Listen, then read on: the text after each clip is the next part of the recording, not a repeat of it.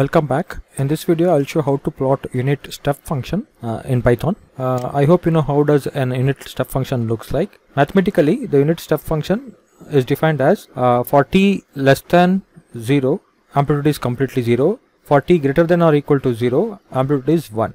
Okay, this is how unit step function in continuous time looks like.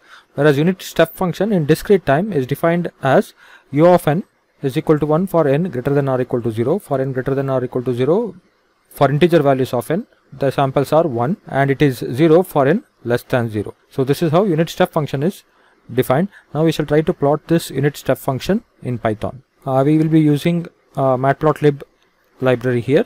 So we shall import it.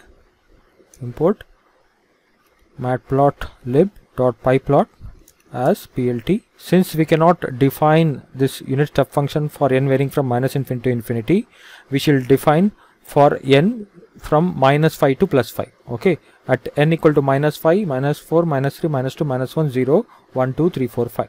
Okay, so we'll, we shall define u of n for n varying from minus 5 to plus 5. So for that, we shall take it as n is equal to uh, we'll define list at n equal to minus 5 comma at n equal to minus 4 comma at n equal to minus 3 at n equal to minus 2 at n equal to minus 1 at n equal to 0 at n equal to 1 at n equal to 2 at n equal to 3 at n equal to 4 at n equal to 5 so this is the independent variable n now we shall define a dependent variable which is u of n i'll make it as u underscore n is equal to again it's a list at n equal to minus 5 what is the amplitude it is 0 at n equal to minus 4 0 0 0 0 comma at n equal to minus 5 minus 4 minus 3 minus 2 minus 1 at n equal to 0 it is 1 at n equal to 1 1 at n equal to 2 1 3 1 4 1 5 1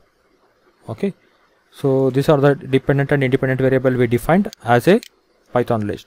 Now we shall plot it. Plt dot stem. Stem is to plot the samples first is independent variable n comma and the other argument is u underscore n dependent variable. Now we shall run it.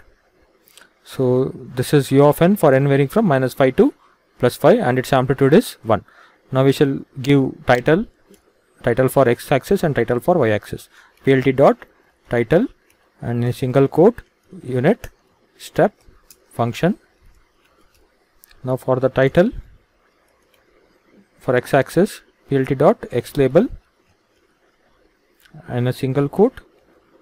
So we have independent variable n and for y label plt dot y label in a single quote it is u of n. Go ahead and run it. So we have unit step function where independent variable is n and dependent variable is u of n. It's a function of n. So this is how we plot unit step function in python Thank you.